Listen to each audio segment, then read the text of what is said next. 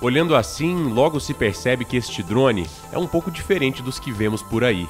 Maior e mais robusto, o Gator Eye possui seis motores e uma alta capacidade de voo. Mas esta não é a principal tecnologia deste equipamento.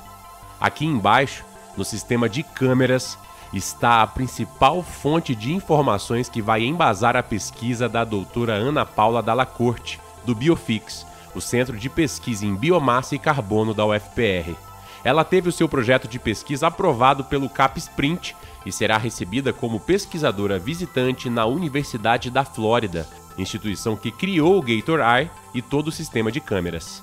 Com elas é possível criar um mapa 3D de uma floresta com informações como volume, biomassa, altura das árvores e até a saúde das folhas.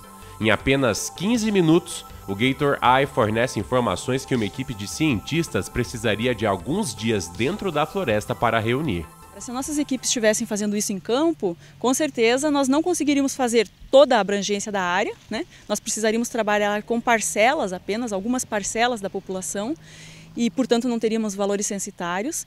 E, por outro lado, nós levaríamos com certeza muito mais do que dois, três, talvez até mais do que isso, dias para fazer essas parcelas. Né? São mais de 3 gigas de dados coletados por minuto. O professor Eben North será o supervisor da pesquisa na Universidade da Flórida. Os dados captados nas áreas de plantios florestais da Fazenda Experimental do Canguiri da UFPR servirão como base do estudo realizado pela professora Ana Paula nos seis meses que passará na Flórida.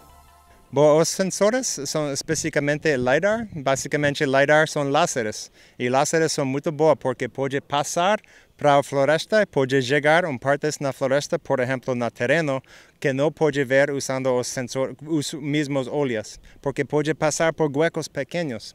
Então, esse drone agora está tirando 600 pontos por segundo. Então, ao final, a gente vai ter um bosque virtual estrutural usando os, os pontos de LiDAR. O Gator Eye realiza todo o trabalho de forma autônoma. O plano de voo é previamente programado e rapidamente os primeiros dados começam a surgir na tela.